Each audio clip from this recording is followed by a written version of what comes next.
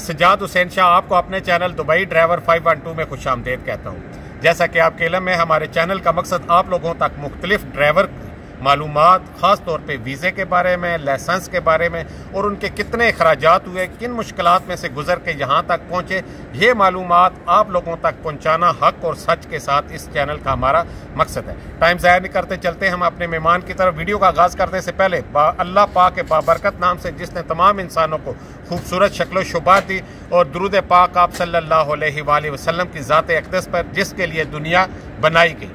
अच्छा हम आज हमारे साथ जो मेहमान बैठा हुआ है बहुत ही कम उम्र है और इनिशियल स्टेज में ही वो यहाँ आ गया। तो बाकी की बातें हम इनसे मालूम करते हैं कि उन्होंने यहाँ कैसे आए किस तरह लाइसेंस लिया कितना अखराज हुआ और अब क्या वो मुतमिन हैं कि नहीं ये आप तक पहुँचाते हैं हम अपने मेहमान के थ्रू। जी अलैक्म जी पंजाबी उर्दू च पंजाबी ਅੱਛਾ ਸਭ ਤੋਂ ਪਹਿਲੇ ਤਾਂ ਤੁਹਾਨੂੰ ਵੈਲਕਮ ਸਾਡੇ ਚੈਨਲ ਤੇ ਦੁਬਈ ਡਰਾਈਵਰ 5.2 ਤੇ ਖੁਸ਼ ਆਮਦੇਦ ਤੁਸੀਂ ਥੋੜਾ ਜਿਹਾ ਟਾਈਮ ਸਾਨੂੰ ਦਿੱਤਾ। ਅੱਛਾ ਥੋੜਾ ਜਿਹਾ ਸਾਡੇ ਨਾਜ਼ਰੀਨ ਨੂੰ ਆਪਣਾ ਨਾਮ ਤੇ ਇਲਾਕਾ ਦੱਸ ਦਿਓ ਕਿਸ ਇਲਾਕੇ ਨਾਲ ਤੁਹਾਡਾ ਤਲਕ ਹੈ? ਜੀ ਮੇਰਾ ਨਾਮ ਹੈ ਸ਼ਾਮ ਮਕਸੂਦ ਹੈ। ਜ਼ਿਲ੍ਹਾ ਮੰਡੀ ਬਾਵਲਦੀਨ ਤਹਿਸੀਲ ਫਾਲੀਆ ਪਿੰਡ ਮੇਰਾ ਲੈਦਰ ਖੁਰਦ ਜੀ ਮਾਸ਼ਾਅੱਲਾ ਮਾਸ਼ਾਅੱਲਾ। ਅੱਛਾ ਇਹਨਾਂ ਦਾ ਤਲਕ ਪੰਜਾਬ ਪਾਕਿਸਤਾਨ ਨਾਲ ਹੈ। ਔਰ ਇਤਸ਼ਾਮ ਤੁਸੀਂ ਇਹ ਦੱਸ ਦਿਓ ਬਈ ਤੁਹਾਡੀ ਹੁਣ ਉਮਰ ਕਿੰਨੀ ਹੋਈ ਹੈ? ਮੇਰੀ ਤਕਰੀਬਨ 21 22 ਸਾਲ ਹੋ ਗਈ ਹੈ। ਨਾਜ਼ਰੀਨ ਇਹ ਪੁਆਇੰਟ ਨੋਟ ਕਰਨਾ ਹੈ ਇਹਨਾਂ ਦੀ ਜਸਟ 21 ਸਾਲ ਔਰ 22 ਸਾਲ ਦੇ ਦਰਮਿਆਨ ਏਜ ਹੈ। ਤੁਸੀਂ ਇਹਦੇ ਤੋਂ ਅਗਲੇ ਸਵਾਲ ਵਿੱਚ ਖੁਦ ਅੰਦਾਜ਼ਾ ਲਾ ਲੋਗੇ ਕਿ ਇਹਨਾਂ ਕਦੋਂ ਲਾਇਸੈਂਸ ਲਿਆ। ਅੱਛਾ ਤਸ਼ਾਮ ਤੁਸੀਂ ਦੁਬਈ ਵਿੱਚ ਕਦੋਂ ਆਏ ਹੋ? ਮੈਂ ਜੀ 2022 28 ਦਸੰਬਰ। ਠੀਕ ਹੋ ਗਿਆ। ਮਤਲਬ ਹੈ ਬਿਲਕੁਲ ਐਂਡ ਤੁਸੀਂ 2022 ਵਿੱਚ ਆਏ ਹੋ। ਅੱਛਾ ਫਿਰ ਟਰਾਂਸਪੋਰਟ ਤੇ ਵੀਜ਼ੇ ਤੇ ਆਏ ਹੋ? ਜੀ ਮੈਂ ਟਰਾਂਸਪੋਰਟ ਦੇ ਵੀਜ਼ੇ ਕਿਸ ਵੀਜ਼ੇ ਤੇ ਆਏ ਹੋ? ਮੈਂ ਪਾਕ ਪੰਜਾਬ ਦਾ। ਪਾਕ ਪੰਜਾਬ ਟਰਾਂਸਪੋਰਟ ਤੇ ਵੀਜ਼ੇ ਤੇ ਆਏ ਨੇ। ਅੱਛਾ ਇਤਸ਼ਾਮ ਫਿਰ ਆ ਕੇ ਤੁਸੀਂ ਕਿਹੜੇ ਡਰਾਈਵਿੰਗ ਸਕੂਲ ਵਿੱਚ ਆਪਣੀ ਫਾਈਲ ਓਪਨ ਕੀਤੀ ਜੀ ਮੈਂ ਗੱਲਾਦਾਰੀ ਗੱਲਾਦਾਰੀ ਡਰਾਈਵਿੰਗ ਸਕੂਲ ਵਿੱਚ ਓਪਨ ਕੀਤੀ ਅੱਛਾ ਦੱਸ ਸਕਦੇ ਹੋ ਕਿ ਉੱਥੇ ਕਿੰਨੀਆਂ ਕਲਾਸਿਸ ਹੁੰਦੀਆਂ ਗੱਲਾਦਾਰੀ ਸਕੂਲ ਵਿੱਚ? ਜੀ ਉੱਥੇ ਜਿਹੜਾ ਨਹੀਂ ਸਭ ਤੋਂ ਪਹਿਲੇ ਤੇ ਤੁਸੀਂ ਲੈਕਚਰ ਦਿੰਦੇ ਨੇ। ਜੀ ਠੀਕ ਹੈ। ਮਤਲਬ ਹੈ ਕਿ ਉਹ ਜਿਹੜਾ ਸਿਗਨਲ ਟੈਸਟ ਵਗੈਰਾ ਹੁੰਦਾ ਹੈ। ਠੀਕ ਹੈ। ਬਿਲਕੁਲ ਉਸ ਤੋਂ ਬਾਅਦ ਫਿਰ ਪਾਰਕਿੰਗ ਵਗੈਰਾ ਦੀ ਬ੍ਰਿਜ ਦੀ ਉਹ ਕਲਾਸ ਦਿੰਦੇ ਨੇ ਉਹਦੀ ਟਰਾਈ ਲੈਂਦੇ ਨੇ ਫਿਰ। ਠੀਕ ਹੈ। ਤੇ ਅਗਰ ਤੁਸੀਂ ਉਹਨਾਂ ਚ ਪਾਸ ਹੋ ਜਾਂਦੇ ਹੋ ਫਿਰ ਤੁਹਾਡੀ ਰੋਡ ਦੀਆਂ ਕਲਾਸਾਂ ਆ ਜਾਂਦੀਆਂ ਨੇ। ਠੀਕ ਹੋ ਗਿਆ।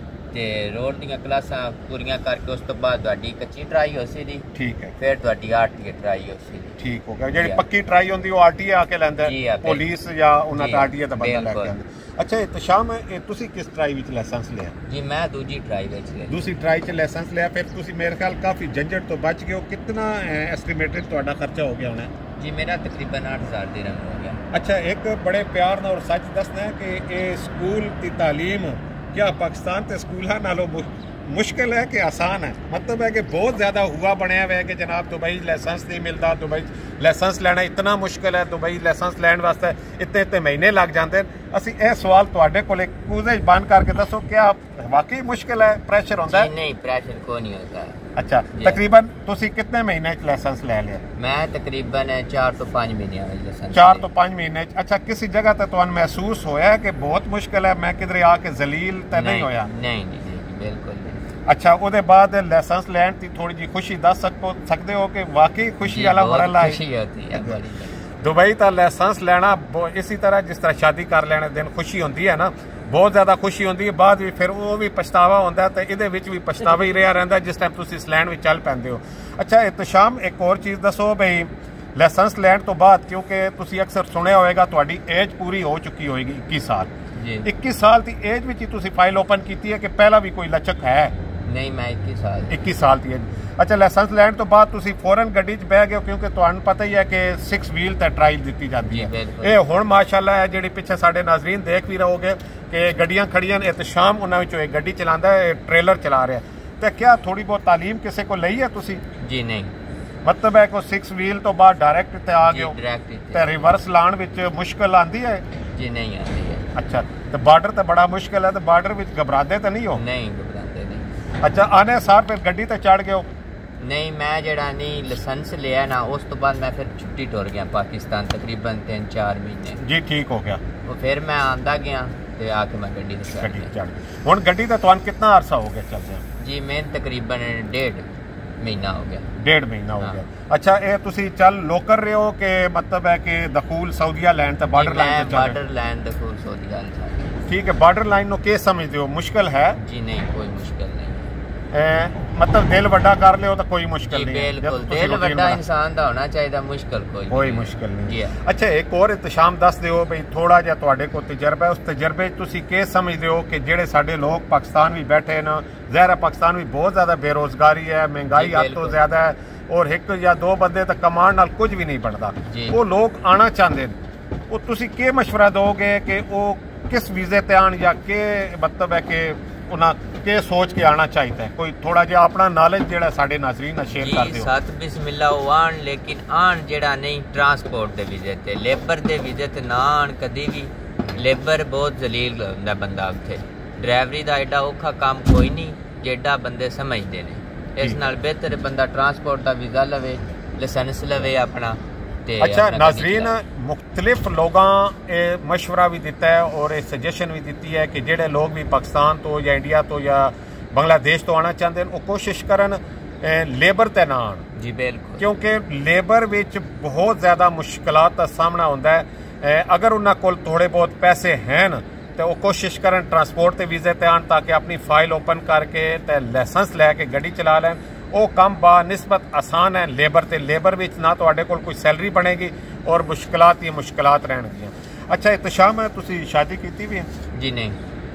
ਕਿ ਭਾਈ ਟ੍ਰੇਲਰ ਡਰਾਈਵਰ ਤਾਂ ਹੁਣ ਬਣ ਗਏ ਉਹ ਤੇ ਹੁਣ ਕੋਈ ਇਰਾਦੇ ਹਨ ਇਰਾਦੇ ਹਨ ਇਨਸ਼ਾਅੱਲਾ ਜਿਹੜਾ ਨਹੀਂ ਸਾਲ ਤੱਕ। ਅੱਛਾ ਹੁਣ ਵੈਸੇ ਇੱਕ ਲਿਹਾਜ਼ ਹੈ ਹੁਣ ਟ੍ਰੇਲਰ ਡਰਾਈਵਰ ਵੀ ਬਣ ਗਏ ਤਾਂ ਹੁਣ ਅੱਛਾ ਰਿਸ਼ਤਾ ਵੀ ਇਹਨਾਂ ਨੂੰ ਮਿਲ ਜਾਏਗਾ ਖੂਬਸੂਰਤ ਬੀਵੀ ਵੀ ਮਿਲ ਜਾਏਗੀ। ਇਹ ਦੁਬਈ ਦਾ ਨਾਮ ਵੀ ਬੜਾ ਆਇਆ ਤਾਂ ਟ੍ਰੇਲੇ ਦਾ ਡਰਾਈਵਰ ਹੋਣਾ ਇਹ ਵੀ ਬਹੁਤ ਬੜਾ ਇਜ਼ਾਜ਼ ਹੈ। ਅੱਛਾ ਇੱਕ ਹੋਰ ਚੀਜ਼ ਤੁਸੀਂ ਇਹ ਦੱਸ ਦਿਓ ਬਈ ਦੁਬਈ ਤੇ ਪਾਣੀ ਵਿੱਚ ਵਫਾ ਹੈ ਕਿ ਨਹੀਂ?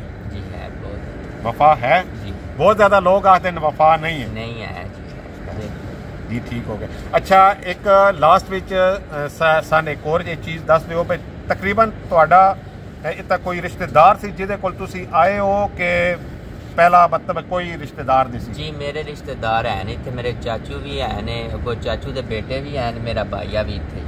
ਮਤਲਬ ਹੈ ਤੁਹਾਨੂੰ ਮੁਸ਼ਕਲਾਤ ਨਹੀਂ ਆਈ ਤੁਸੀਂ ਆਨੇ। ਸਾਰ ਉਹਨਾਂ ਕੋ ਅਕਾਮੋਡੇਸ਼ਨ ਔਰ ਕਾਫੀ ਹੱਦ ਤੱਕ ਉਹਨਾਂ ਤੁਹਾਡੀ ਜਿਹੜੀ ਹੈ ਟ੍ਰੇਨਿੰਗ ਵੀ ਕਰ ਦਿੱਤੀ ਹੈ। ਜੀ ਬਿਲਕੁਲ। ਜੀ ਠੀਕ ਹੋ ਗਿਆ। ਅੱਛਾ ਨਾਜ਼ਰੀਨ ਜਿਸ ਤਰ੍ਹਾਂ ਤੁਸੀਂ ਸੁਣਿਆ ਇਤਸ਼ਾਮ ਨੇ ਕਿਹਾ ਕਿ ਅਗਰ ਤੁਸੀਂ ਆਣਾ ਚਾਹੁੰਦੇ ਹੋ ਤੇ ਫੀਲਡ ਮੁਸ਼ਕਿਲ ਨਹੀਂ ਹੈ ਥੋੜਾ ਜਿਹਾ ਅਖਰਾਜਾਤ ਹਨ ਸਬਰ ਅਜ਼ਮਾ ਕੰਮ ਹੈ ਔਰ ਉਹਦੇ ਬਾਅਦ ਜਿਹੜਾ ਤੁਸੀਂ ਅੱਛੀ ਖਾਸੀ ਸੈਲਰੀ ਕਮਾ ਲੈਂਦੇ ਹੋ ਅੱਛਾ ਥੋੜਾ ਜਿਹਾ ਵੀ ਦੱਸ ਦਿਓ ਸੈਲਰੀ ਕਿੰਨੀ ਬਣ ਜਾਂਦੀ ਹੈ ਤੁਹਾਡੀ? ਜੀ ਮੇਰੀ ਸੈਲਰੀ ਬਣ ਜਾਂਦੀ ਹੈ ਖਾ ਪੀ ਕੇ ਜਿਹੜਾ ਨਹੀਂ 3000 ਉਹੀ 3700 ਸੈਲਰੀ ਬਣ ਜਾਂਦੀ ਹੈ ਠੀਕ ਹੈ ਜੀ ਆ ਖਾ ਪੀ ਕੇ ਜਿਹੜਾ ਨਹੀਂ ਮੈਂ ਜਿਹੜਾ ਘਰ ਗਾਲ ਸਕਾਂ ਨਾ ਉਹ ਮੇਰਾ 3000 3000 3000 ਨਾਜ਼ਰੀਨ ਤੋਂ ਹੈ ਤੁਹਾਡੇ ਇਲਮ ਲੈਂਦਾ ਚੱਲਾ ਪਾਕਿਸਤਾਨੀ 'ਚ ਲਗਭਗ 2.5 ਲੱਖ ਰੁਪਇਆ ਬਣ ਜਾਂਦਾ ਹੈ ਔਰ ਇਹ ਸੈਲਰੀ ਥੋੜੀ ਨਹੀਂ ਹੈ ਮਾਸ਼ਾਅੱਲਾ ਬਹੁਤ ਅੱਛੀ ਔਰ ਹੈਂਡਸਮ ਸੈਲਰੀ ਹੈ ਇੱਕ ਖਾਨਦਾਨ ਦਾ ਅੱਛੇ ਤਰੀਕੇ ਨਾਲ ਨਿਜ਼ਾਮ ਚੱਲ ਸਕਦਾ ਹੈ ਅੱਛਾ ਮੈਨ ਔਰ ਇਤਸ਼ਾਮ ਨੂੰ ਦਿਓ ਇਜਾਜ਼ਤ ਇਸ ਦੁਆ ਨਾਲ ਕਿ ਅੱਲਾਹ ਪਾਕ ਤੁਹਾਨੂੰ ਖੁਸ਼ ਖੁਰਮ ਰੱਖੇ ਔਰ ਜਿਹੜੇ ਲੋਕ ਵੀ ਲਾਇਸੈਂਸ ਲੈ ਰਹੇ ਨੇ ਉਹਨਾਂ ਵਾਸਤੇ ਖਸੂਸੀ ਦੁਆ ਹੈ ਕਿ ਅੱਲਾਹ ਪਾਕ ਉਹਨਾਂ ਨੂੰ ਕਾਮਯਾਬ ਕਰੇ ਤਾਂ ਕਿ ਉਹ ਰੋਜ਼ਗਾਰ ਚੜ ਸਕਣ ਔਰ ਜਾਣੇ ਕੋਈ ਐਸਾ नेकी ਦਾ ਕੰਮ ਕਰ ਜਾਓ ਖਾਸ ਤੌਰ ਤੇ ਕਿਸੇ ਯਤੀਮ ਤੇ ਕਿਸੇ ਅਹ, ਅੱਲਾਹ ਦੇ ਰਸਤੇ 'ਚ ਕੋਈ ਐਸਾ ਖਰਚ ਕਰ ਜਾਓ ਅਗਰ ਦੁਨੀਆ ਫਾਨੀ ਤਾਂ ਤੁਸੀਂ ਚਲੇ ਵੀ ਜਾਓ ਤੇ ਨੇਕੀਆਂ ਦਾ ਸਿਲਸਿਲਾ ਤੁਹਾਡਾ ਚੱਲਦਾ ਰਹੇ ਅੱਲਾਹ ਹਾਫਿਜ਼ ਅੱਲਾਹ ਨਿਗਹਿਬਾਨ